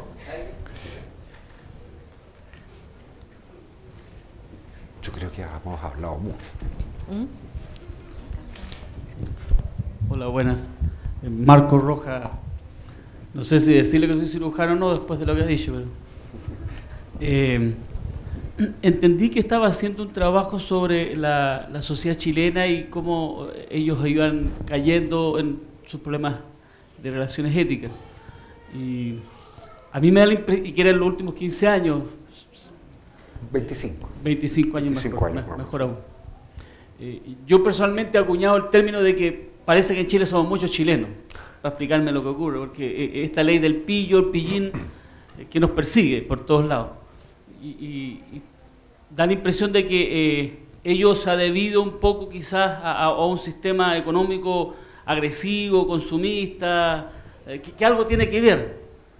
Yo no sé si sea así, mi pregunta va por allá, si realmente tiene que ver el sistema económico en las sociedades que diseñe, module, controle, contenga eh, los problemas éticos estos, ¿tiene que ver algo eso o es que realmente, como pienso lamentablemente, somos muchos chilenos en Chile para entender todo lo que está pasando. Buena expresión. Eh, sí, a ver, a, mí me pasó cuando yo recién llegué a mi doctorado, me, pasó esto, y me invitaron a una facultad de Derecho de una universidad X y, había grandes nombres de filosofía aquí de Chile, ¿no? Entonces, y el tema era Rawls. Entonces vamos a discutir sobre Rawls. Yo había hecho mi tesis sobre Rawls, entonces vamos a discutir sobre Rawls y tal. Y, llega un momento en que yo me empiezo a preocupar, porque digo, bueno, eh, hablamos de Rawls eh, y las cuestiones de la sociedad norteamericana, o Sanders, o hablamos de Habermas y la cuestión de la sociedad alemana, o hablamos de, con mucho respeto, eh, yo la quiero mucho, Adela Cortina y en la sociedad española, digamos, Entonces yo me empiezo a topar con que, oye, ¿y qué pasa en relación a una reflexión ética en Chile? Y ahí inicio una búsqueda, ¿no? Digo, a ver, ¿qué, ha pasado en Chile con relación a la ética? Y empiezo a investigar y ya no leo, no, a lo mejor esto es muy pedestre para quienes son filósofos de pura cepa, yo no creo serlo, entonces eh, no, es la figura del Dasein de Heidegger o qué sé yo. Tuve que ponerme a leer el periódico nomás, los periódicos de la época, leer libros de la época, y empecé desde el año 90 en adelante. Eh, el año 90 marca, ya todos lo sabemos, el arribo eh, a la democracia, por lo menos en términos institucionales. no voy a entrar a una democracia real o efectiva, pero sí arriba la democracia. Entonces, ¿qué pasa con eso? Porque claramente una dictadura lo primero que hace es violar, o sea, negar las libertades civiles, políticas, etc. Y va generando, obviamente, ciertas formas de vida. Entonces partí 90. Y resulta que el 90, toda la década del 90, según mis investigaciones, toda el concepto público dominante fue crisis moral. Eh, y, esto nace a tenor de eh, denuncias que venían por una parte de la Iglesia Católica, que es verdad, fueron defensores eh, acérrimos de los derechos humanos, en su gran mayoría, en, en tiempos de la dictadura, pero que en tiempos de democracia comenzaron a denunciar con igual intensidad eh, los excesos, de, sobre todo de la juventud chilena, digamos, ¿no? Eh, excesos de alcohol, eh, borracheras, sexo, etc. Esto está en los periódicos, no, no, no estoy... de hecho, hay dos, dos, entrevistas muy interesantes del entonces Cardenal Oviedo para esta época, que es la que denuncia. Y el otro es el sector de la derecha, en aquel momento marcadamente pinochetista, digamos, que obviamente, como suele caracterizar a cierto tipo de derecha, eh, eh, si es que no todas, eh, esas cuestiones éticas de la cintura para abajo, digamos, ¿no? Esas son sus mayores inquietudes. En economía no mucho, pero en, lo demás se preocupan bastante. Entonces, ahí en esta, toda esta década del 90 se da, esta es la tónica, digamos, no, no, no, no hay todo gira en torno a eso, a, este cierto deterioro. Aquí les recomiendo, hay un libro muy bueno, muy interesante, de Parrini, Parrini Roses, que es un periodista, y que, y, que, y, que, tiene un libro que se llama Matar al Minotauro. Ya, ya no se edita, uno lo podría encontrar en libros, en librerías de libros usados, que fue donde yo lo encontré. Eh.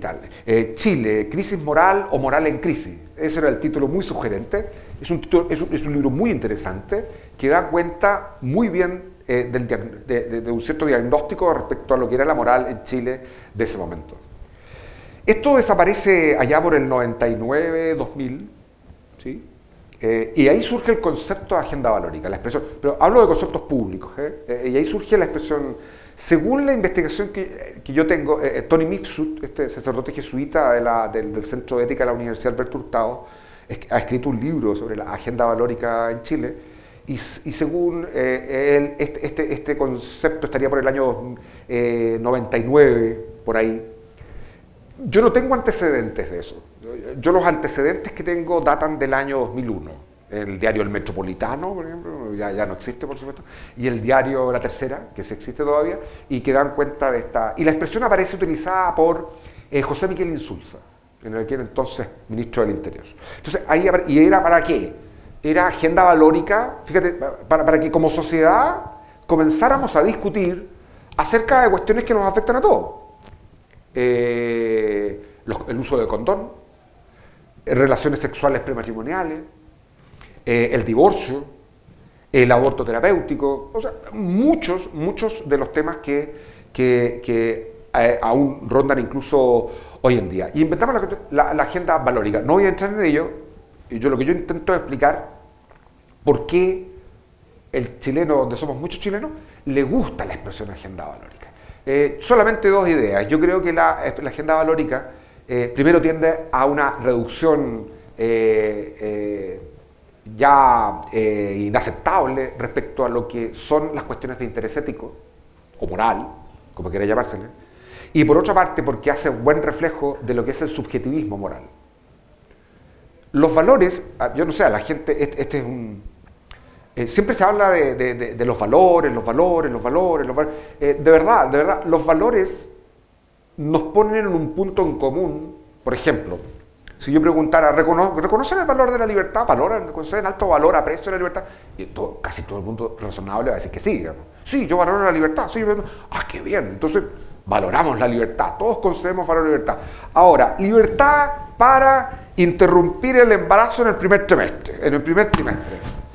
Eh, eh, a ver, a ver, a ver, a ver, a ver. Ah, pero no dijiste que valorabas la libertad. Sí, la valoro, pero es que estamos hablando aquí de aborto. No, no, no.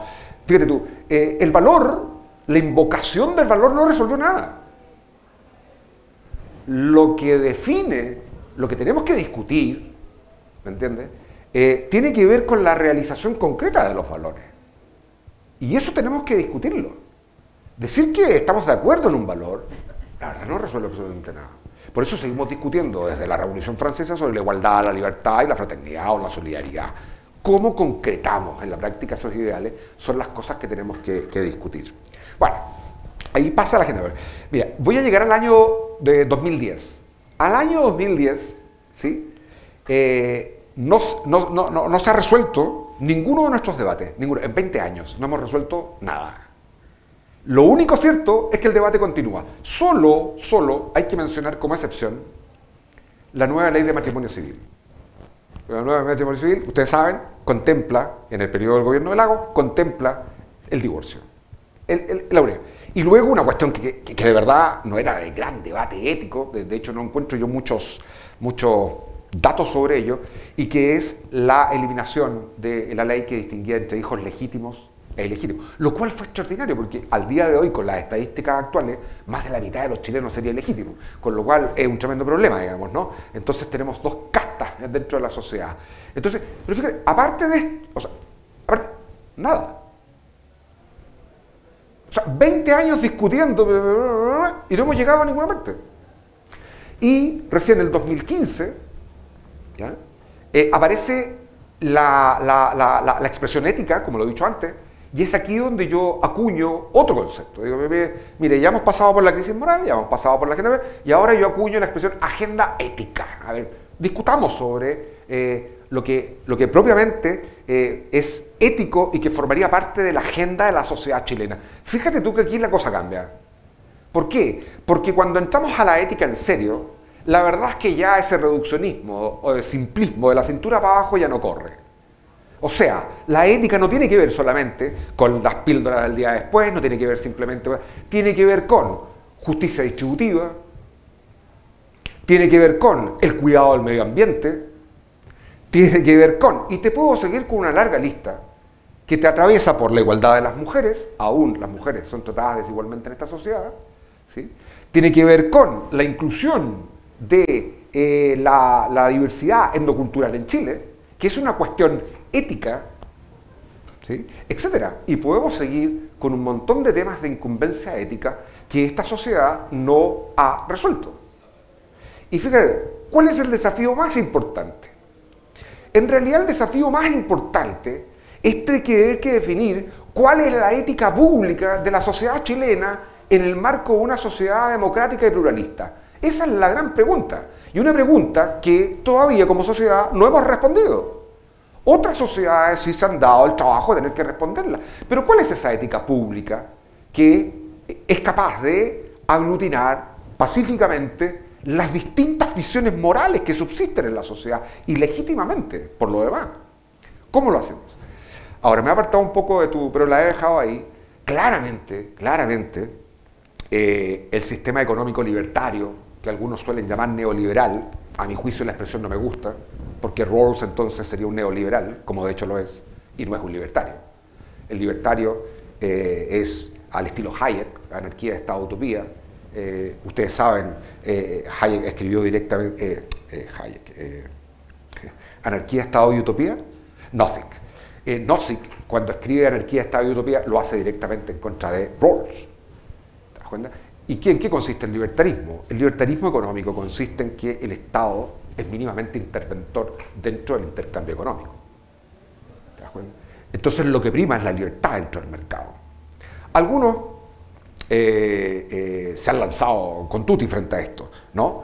Pero no cabe la menor duda que eh, la lógica del intercambio económico ha colonizado casi todas nuestras formas de vida. No cabe la menor duda. El término de las profesiones. O sea, en términos de las profesiones, cuando tú hablas al... generalmente el servicio profesional era un servicio, y se usaba la expresión, desinteresado. O sea, no había un interés en el servicio a la comunidad, más allá del propio servicio a la comunidad. Y sin embargo ahora, ese servicio, para casi todo y para casi siempre, tiene un precio. Entonces no cabe la menor duda que ciertamente la lógica económica eh, ha ido colonizando los más variados ámbitos eh, de la, vida humana. Fíjense ustedes, eh, y aquí pertenezco a una universidad católica, digamos, si ustedes leen Evangelii Gaudium, la exhortación apostólica de, del Papa Francisco, y leen recientemente Laudato Si, que se refiere a la cuestión de la crisis ecológica, en la raíz, en la raíz de los problemas, el Papa denuncia la lógica precisamente de la colonización económica. Y esto sí eh, es un tremendo problema dentro del marco de una sociedad eh, capitalista o de libre mercado, ¿me entiendes? Que da espacios para el consumo ¿ah? eh, y donde el dinero se convierte en el único criterio para poder determinar las relaciones entre unos y otros. Y esto es el problema. ¿Por qué? Porque aquí se niega el espacio, por ejemplo, al don, a la gratuidad, etc. Sino que todo tiene un precio. Incluso a veces la dignidad humana tiene un precio. ¿Te das cuenta? ahí hay una gran cuestión. A, mí me ha llamado la atención, y con esto termino, lo, me pasa, no, no sé, yo no sé cómo será acá, pero me pasa, pregunto, ¿cuántos aquí han leído la Declaración Universal de Derechos Humanos? A mis estudiantes, ¿eh? no, no, no contesten ustedes, tranquilo. Eh, le y te sorprendería que una mano levanta. Nadie más. O sea, todos desconocen la Declaración Universal de Derechos Humanos. Quizás ese sea, hablando de las posibilidades o las condiciones de posibilidad de alcanzar una ética pública para la sociedad chilena, quizás la primera tarea sea forjar una auténtica cultura de los derechos humanos, que tengan como centro precisamente el reconocimiento fundamental de la dignidad, del valor intrínseco de cada persona. Quizás eso sea lo primero que tengamos que hacer en nuestro sistema educativo, para poder ir pensando en una ética pública. el precio, la lógica económica, aunque puede, no debe estar por sobre aquello que no tiene precio, sino que tiene dignidad y que merece un respeto incondicional siempre y en cualquier circunstancia. Eh, lamentablemente, lamentablemente, en nuestra sociedad, primando la lógica del dinero, de la ganancia económica, etc., eh, estamos perdiendo el sentido de la dignidad propia y de la dignidad de los demás, que es la cuestión de la lógica. Fíjate que el caso laboral,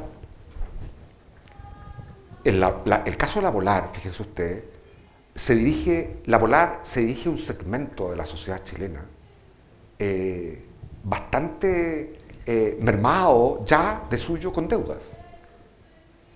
Y, y, es a esa gente, fíjate tú, es a esa gente la que un, par de profesionales decide robarles más plata. Fíjate tú. O sea, no hay ninguna consideración del esfuerzo, del trabajo, eh, etc. Entonces, fíjate tú, el consumo el consumo en Chile se ha, se ha eh, desbordado ¿ya? por un sistema económico que permite la adquisición de un conjunto de bienes en base al endeudamiento. Entonces, tú puedes obtener muchos bienes eh, en base a que vas adquiriendo deuda tras deuda. No sé ustedes, pero a mí en la década de los 80 tú, yo iba a una población marginal y resulta que la casa era eh, en el sur de Chile y las ventanas eran nylon. Tú entrabas, tierra, tierra, tierra, en el sur, ¿eh? Eh, ustedes saben cómo es el clima del sur. Era una pobreza de verdad eh, muy doliente y por eso se llamaba de, una pobreza humillante y deshumanizante. Pero hoy día tú vas, entre comillas, no, no la pobreza extrema, vas a, considerábamos como pobres y resulta que tienen un televisor de 50 pulgadas. ¿sí? O sea, un pobre distinto. Pero, pero ¿qué lo permite eso? Y no es que sea más mala persona, es un sistema económico que permite adquisición de bienes por base de endeudamiento, aunque incluso no haya solvencia. Entonces, la lógica económica, la lógica del intercambio, la lógica del yo te doy y tú me das a cambio, va a ir gobernando una serie de dimensiones de la vida humana que quizás, en definitiva, no respondan a esa lógica económica. Mauricio, tenemos otra pregunta. ¿Qué te pregunta? Eh, muchas gracias. Mi nombre es Daniela, soy de la Facultad de Derecho. Y tengo una consulta respecto a lo que usted señalaba, que era importante, eh, usted habla que había que construir en el fondo nuestra ética. Y en ese sentido, o sea, eh, no precisamente, pero que era necesario realizar una construcción de todo este, este proceso. Y en ese sentido quisiera saber, a su juicio, qué rol juega la sanción una vez que ya se ha cometido algún comportamiento que se podía juzgar como poco ético o poco ajustado a lo que debería ser un buen comportamiento, qué rol jugaría la sanción sobre todo pensando muchas veces que las profesiones son los mismos pares los que se tienen que juzgar mutuamente y a veces eso trae dentro de la propia comunidad profesional un conflicto. Por lo tanto, ¿cómo, ¿qué opinión tiene usted al respecto? Mm, te lo, voy a responder con un ejemplo cuando hablamos de estas cosas con mis estudiantes. ¿eh? Eh, em, no, no, voy a entrar a la discusión, ¿no? si mentir es bueno o es malo. Yo, yo mentir es malo, listo. Ya estamos ahí, aunque con mis estudiantes obviamente lo discutimos previamente, pero al final llegamos a la conclusión que es malo, así que da lo mismo. Eh, si yo le miento a mi esposa acerca de mis infidelidades. Eh, seguramente no pasa nada. Lo que quiero decir que cuando digo no pasa nada, al Estado no le interesa que yo le mienta a mi esposa por mis infidelidades. ¿Ok? Pero si yo le miento a impuestos internos en mi declaración, al Estado sí le va a preocupar. oye, oye, oye, a ver, a ver, a ver. Tu declaración eh, esconde ciertas, ¿ah? ciertas eh, cantidades por ahí. Fíjate tú. Eh, entonces, en la idea de sanción, ¿sí? y me muevo ya fuera del ámbito exclusivamente ético y dentro del jurídico y que tiene relación con uno de los poderes del Estado, tiene sentido solo cuando hay bienes comunes que proteger. Si yo le miento, cuando yo le miento al Estado en mi declaración de impuestos, no cabe la menor duda que estoy haciendo un daño social. Es decir, estoy disminuyendo las arcas fiscales que eventualmente están destinadas para realizar políticas públicas que van en beneficio de los más necesitados de la sociedad. Es decir, estoy dañando un bien común. Y eso sí le importa al Estado. Que yo le mienta a mi mujer acerca de mis infidelidades, la verdad es que eh, no le importa mucho al Estado en virtud de que, entienda entiende que es eh, un daño ¿ya? que afecta a un bien particular o privado, como se suele utilizar hoy en día. Ahora bien, dicho esto, eh, a mí me cuesta entender los, tribunales de ética, sobre todo, cuando hablan de sanciones. Porque se suele acuñar ahí la expresión sanción moral. ¿Y en qué consiste la sanción moral de un tribunal de ética dentro de un colegio profesional? Consiste en que eh, te vamos a limitar algunos beneficios ¿ya? que otorga la pertenencia a este colegio. O, en el caso extremo, te vamos a expulsar del colegio. ¿Ok? Eh, ese tipo de sanciones, si tú quieres llamarla así, eh, o si aceptamos la, nominación, eh, no resuelven en definitiva ninguna de las cuestiones éticas que están en juego. Ninguna. La sanción de suyo, de hecho, eh, no resuelve o no me convierte en, un sujeto ahora con comportamientos éticamente correctos después de la sanción. por eso yo decía antes, ¿no? lo importante es que exista una educación moral y lo digo de una vez por todas, ¿no? una educación moral se refiere directamente a una educación en el ejercicio de la libertad, sobre todo en amplios marcos eh, culturales y sociales que eh, precisamente no solamente garantizan, también respetan ese ejercicio de la libertad. ¿Estamos preparados para ese ejercicio de la libertad? ¿Hemos recibido una educación que sea coherente con el ejercicio de esa libertad? Ejercicio de la libertad que supone elección, por lo demás. Contamos con todas las herramientas para ejercitar esa libertad de manera responsable, de manera que vaya en beneficio no solo personal, sino también un beneficio social, etc. ¿Estamos en eso o no lo estamos? Y a eso me refiero yo con construcción, ¿no? Porque es una tarea que debe, debe asumir toda la, la sociedad. Creo que nos falta este sentido comunitario de la corresponsabilidad.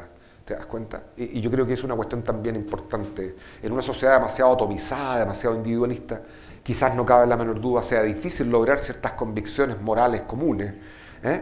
porque cada cual va a querer ir a, lo que le beneficia, y el principio del costo-beneficio o el fin justifica los medios, que son los principios predominantes más o menos de, lo que, de nuestra vida ética, digamos.